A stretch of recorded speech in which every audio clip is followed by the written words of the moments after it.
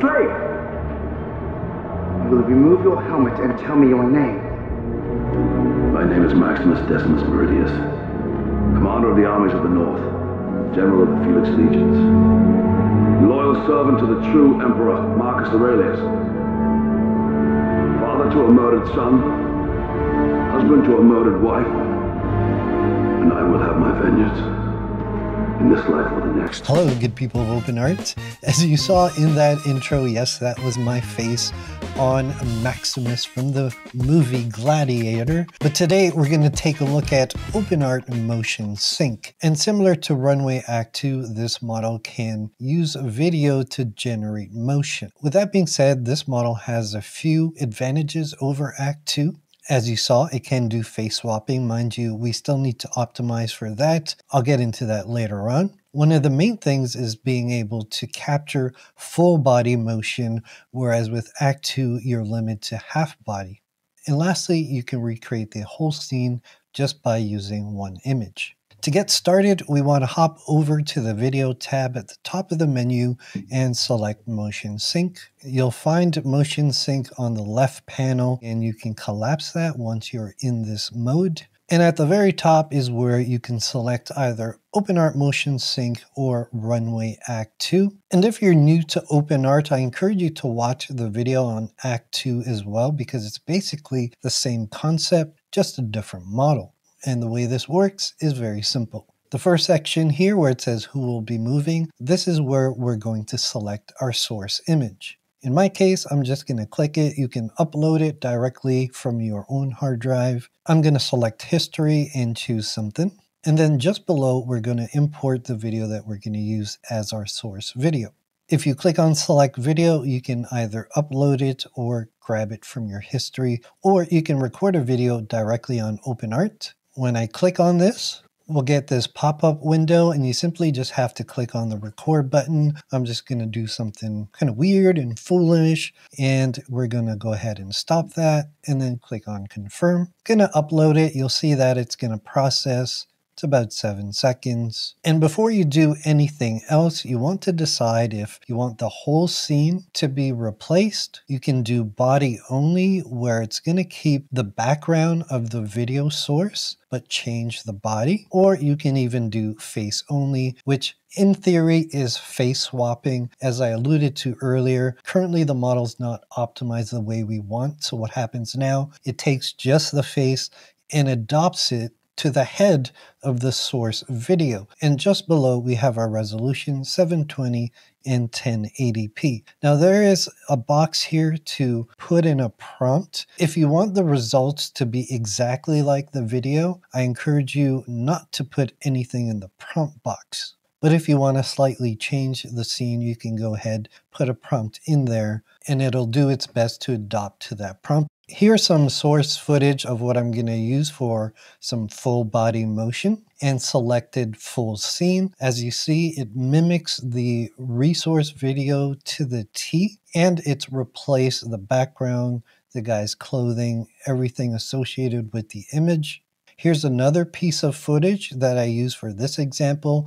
I want you to pay attention to the background in the character and what he's wearing. This time I selected body only. And if you look at the generated video, you'll notice the background is still the same, but we've replaced the main character with the person in my image. I did want to point out in terms of the face swapping, as again I mentioned earlier, although I can see my likeness, it does look a bit off. And the reason being, as I said, it really just takes the face and puts it on the face of your source video instead of taking my whole head and putting it onto the source. So we are working on improving that. Just know that if you want to use a certain piece of footage, make sure that the subject's head looks similar to yours. Otherwise, it's going to look a little weird. You might be wondering how does it compare to Act 2? Well, what I'm going to do is show you the clips that I used from Act 2, and I regenerated similar clips using OpenArt Motion Sync. Now, in all fairness, I only did the half body ones. Let's take a look at the side-by-side -side comparisons. On one hand, I can be an alien from another planet. Or I can be the strongest man on Earth. Or how about a cute and adorable Pixar robot with all this personality. But the truth is, I'm actually Superman. that sounds so stupid. now, let's talk about some of the current limitations.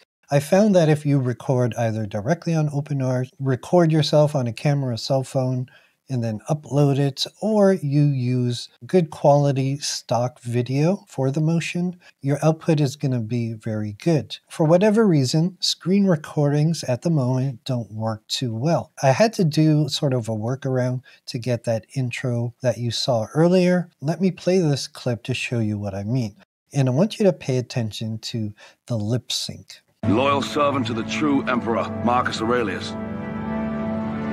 Father to a murdered son, husband to a murdered wife, and I will have my vengeance.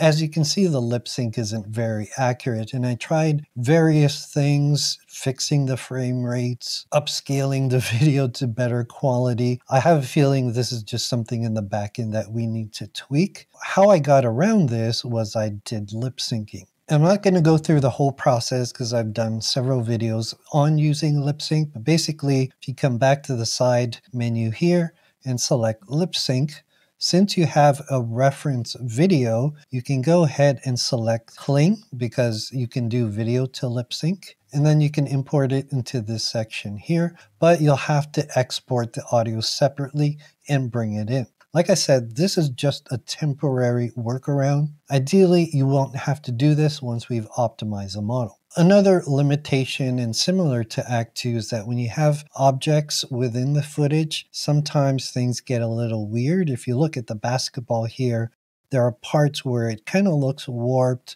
the lines of the basketball are off but generally the motion looks pretty good. When things leave the frame and come back in, it has to generate it again, so it may not do an accurate job. But if we look at this example where the motion's not too rigorous and the basketball is in frame for the most part, it looks somewhat acceptable. Like if you really nitpick, you'll see some errors here and there. But in this case, it does a pretty decent job.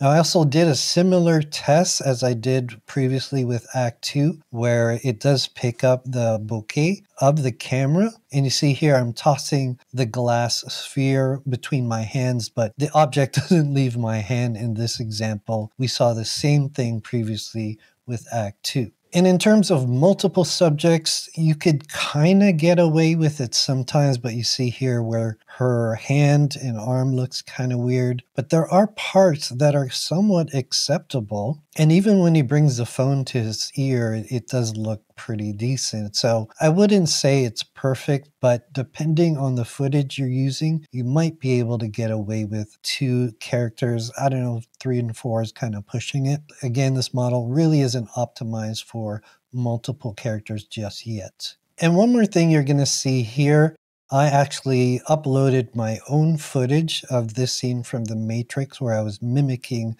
Neo's movement here.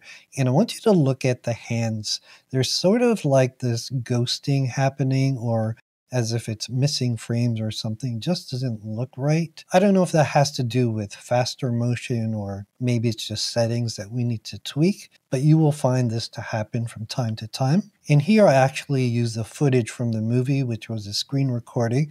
And I just realized I turned the wrong side on the previous example. But anyway, you can see that weird warping ghosting effect with his hand, and it's even more severe with a screen recording. But I was able to recreate this scene, which I thought was really cool. Instead of Neo, it's me. I think I look pretty cool as uh, Neo.